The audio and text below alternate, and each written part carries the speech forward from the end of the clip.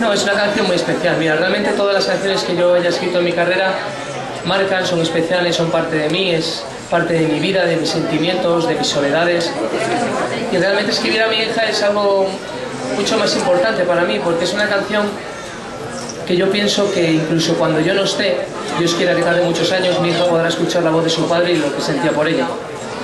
Partiendo de esa base, realmente, como mi obra maestra es ella, pues todo lo demás que vaya para ella será, será bonito. Hola. ¿Nos podrías hablar de la canción del dúo con Sheila? ¿Qué ha significado y si te vas a marcar con música mexicana? Bueno, pues realmente es una, es una pasada poder compartir con amigos, con amigos que, que tienes aprecio, qué complicidad, que somos, tanto Saila como yo, somos parte de una generación joven de nuevos artistas que estamos abriendo los caminos, no solamente aquí en España, sino a nivel internacional. Y es una canción pues, que, habla de, pues, que habla de estos encuentros nocturnos que a veces al día siguiente te arrepientes, no en mi caso. Yo, yo la parte que toco, me toca en la canción no me arrepiento, se arrepiente ella. Porque a veces las mujeres, las mujeres os utilizáis.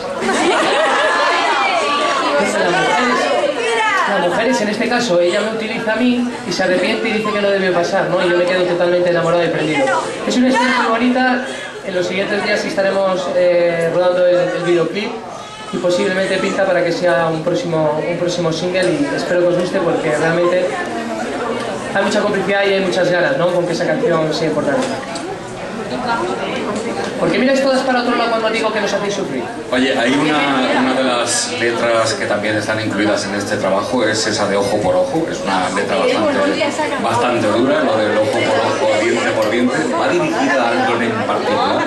No, mira, yo te, te voy a explicar. Ojo por ojo, diente por diente es una canción de, de un gitano, un gitano coreano que se llama Rayito y que me gustaba, me encantó desde que la escuché, pero por el ritmo que tiene y porque tiene dichos muy ojo por ojo, diente por diente, que mata hierro a hierro muere. Y entonces no va a dedicar a nadie en especial, va a dedicar a muchos en general que, que quieren dañar cuando no se les daña a ellos, ¿no?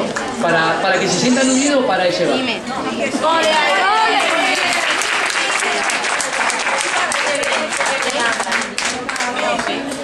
¿Qué sientes cuando en cada concierto